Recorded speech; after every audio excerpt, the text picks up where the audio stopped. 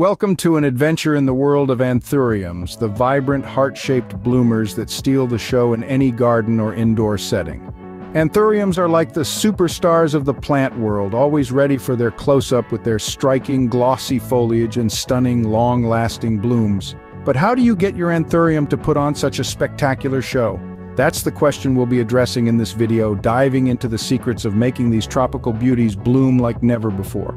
We'll explore the balance of light, water, temperature, and nutrients, and even reveal some lesser-known tips that could be the key to your anthurium's blooming success. So whether you're a seasoned gardener or a green-thumb newbie, there's something for everyone in this blooming adventure.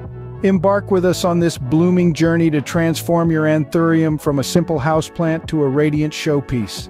Our first secret to unlocking your anthurium's blooming potential lies in the realm of light. Now you might be thinking, well, all plants need light, right? True, but anthuriums are a bit like Goldilocks when it comes to their light requirements. Too much direct sunlight and they'll get a sunburn. Too little and they'll just sulk in the corner refusing to bloom. So what's the magic formula? Think moderate to indirect bright light. Imagine a cozy nook by a window where the sunlight filters in but never directly hits. That's your anthurium's sweet spot. It's like enjoying a sunny day under the shade of a tree. You get the warmth and the light, but none of the scorching heat. Just remember, if your anthurium's leaves start to yellow, that might be a sign of too much light. On the other hand, if the leaves turn dark green and the plant refuses to bloom, it might be craving more light. So remember, just like us, anthuriums too need their fair share of light, not too much, not too little, but just right. As we dive deeper into our secrets, the second one surfaces from the depths of watering. Just as a parched traveler finds solace in a sip of water, your anthurium thirsts for a weekly drink. But here's the twist, the amount it craves is not fixed, it's a dance with the light. On bright days, the plant sweats more, yearning for more hydration. Conversely, on cloudy days, it sips lightly. Imagine being at a party. On some nights, you might dance until dawn, working up a thirst for more water. On others, you might prefer a quiet evening, barely sipping your drink. That's exactly how your anthurium feels. The light exposure dictates its watering needs. So remember, the secret is not just in watering, but in understanding your plant's unspoken thirst. It's in creating a balance, a harmony between the sun's rays and the water droplets. And this harmony, this perfect symphony, is what makes your anthurium bloom like a dream. Watering when done right can create a ripple effect on your anthurium's bloom. The third secret is all about setting the right temperature. You see, anthuriums are tropical plants that love warmth. They thrive in a daytime temperature range of 70 to 90 degrees Fahrenheit. But here's the kicker. They also need the night to cool down a bit with temperatures above 60 degrees Fahrenheit. It's like they're on a constant vacation, basking in the warm sun during the day and enjoying the cool, breezy nights. But remember, temperature is just one piece of the puzzle. Anthuriums need a combination of the right conditions to bloom. It's like baking a cake. If you miss one ingredient, the cake won't rise. Similarly, if the temperature isn't right, your anthurium might not bloom. So let the temperature rise and fall and watch your anthurium bloom in all its glory. Our fourth secret whispers through the mist humidity. Now let's unravel this secret. Anthuriums are tropical beauties born and bred in the warm, humid environments of the tropics. So it's no surprise that they thrive in environments that mimic their natural habitat. And one of the key elements of this habitat is high humidity. Imagine the dense jungles, the early morning dew, the constant mist in the air. That's what anthuriums crave. A humidity level of 80 to 90% is the sweet spot for these plants. This high moisture content in the air ensures that the plant's stomata, tiny pores on the leaf surface, remain open, facilitating photosynthesis and promoting vibrant blooming. So how can you create this tropical paradise at home? Simple, use a humidifier or place a tray filled with water near your plant. The evaporating water will increase the moisture level in the air. But remember, balance is key. Too little humidity and your plant might not bloom, too much, and you risk fungal infections. So let your anthurium bask in the mist and bloom its heart out. Our fifth secret sprouts from the soil itself fertilization. Just like us, plants need nutrients to grow and bloom. And for anthuriums, phosphorus is the secret ingredient. This nutrient is essential for the plant's growth as it promotes the development of roots and flowers, giving your anthurium the boost it needs to bloom vibrantly. Think of phosphorus as the plant's personal trainer, pushing it to reach its full blooming potential. But remember, moderation is key. Over-fertilizing can do more harm than good, causing damage to the roots and leaves. So how often should you fertilize? Every few weeks is a good rule of thumb. Imagine your anthurium as a star athlete, with phosphorus being the secret to its winning performance. And just like a star athlete needs a balanced diet, so does your anthurium.